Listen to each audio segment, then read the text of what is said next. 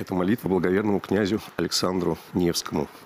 Скорый помощнича всех усердно к Тебе прибегающих, и теплый наш перед Господом предстателю, святый благоверный княже Александре.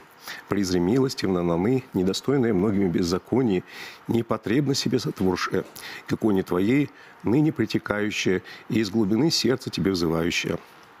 Ты в житии своем ревнитель, и защитник православной веры был Иси, и нас в ней теплыми Твоими молитвами непоколебимы утверди.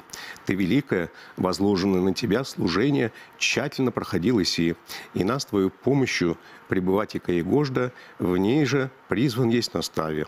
Ты, победив полки супостатов от пределов российских, отгнал Еси, и на нас, ополчающихся, всех видимых и невидимых врагов не зложи. Ты, оставив тленный венец царствия земнага, избрал еси безмолвное житие, и на неправедно венцем нетленным увенчанный, на небесах царствуешь. Ходатайствуй нам, смиренно молим Тебя, житие тихое и безмятежное, и к вечному царствию шествие неуклонное Твоим предстательством устрой нам. Предстоя со всеми святыми престолу Божию, молись о всех православных христианах, да сохранит их Господь Бог свою благодатью в мире, здравии и благоденствии, во всяком благополучии.